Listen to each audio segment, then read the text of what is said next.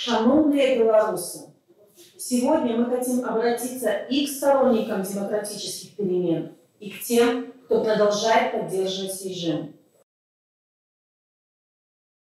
Не осталось никаких сомнений, что Лукашенко стал бесповоротно токсичен для международного сообщества. То, что народ Беларуси столько месяцев пытался показать, наконец стало очевидно всему миру. Но сейчас он стал угрозой и для тех, кто все это время был рядом с ним. Его необдуманные действия каждый день ухудшают положение всех, кто хоть как-то связан с властью Беларуси. Мы говорим о чиновниках всех уровней, бизнесменах и других. Это происходит по причине, которая хорошо известна нам всем.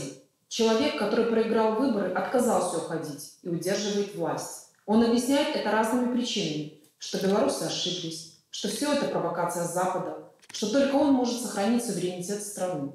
Но задавали ли вы себе вопрос, что же это за суверенитет, который держится на одном единственном человеке? Насколько он надежен? И разве не этот человек сейчас ставит суверенитет нашей страны под прямую угрозу? Ответ на эти вопросы прост. И он есть в нашей Конституции.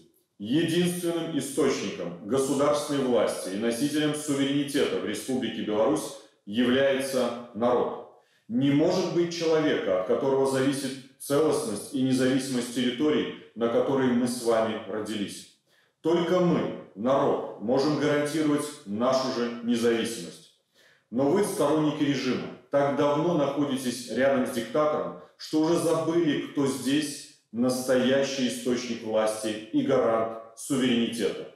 Вы забыли и то, что вы сами народ, а не просто винтики государственной машины, обслуживающие решения только одного человека.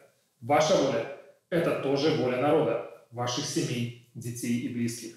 Спросите себя, чего бы вы хотели от правительства, которое на самом деле заботится о вас и вашем будущем?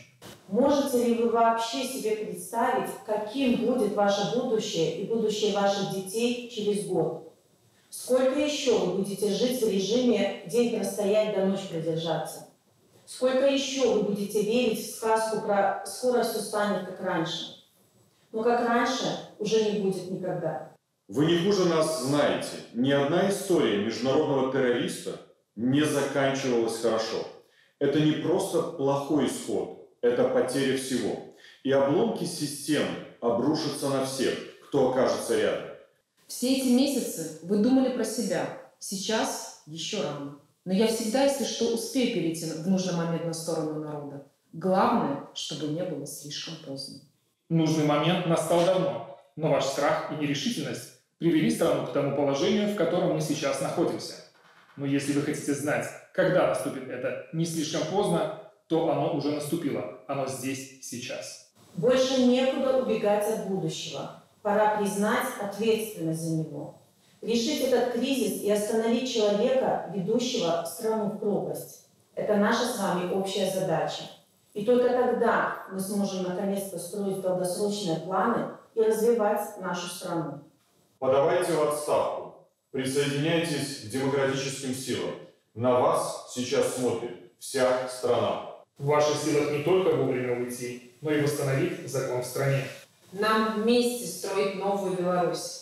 И начинать надо прямо сейчас.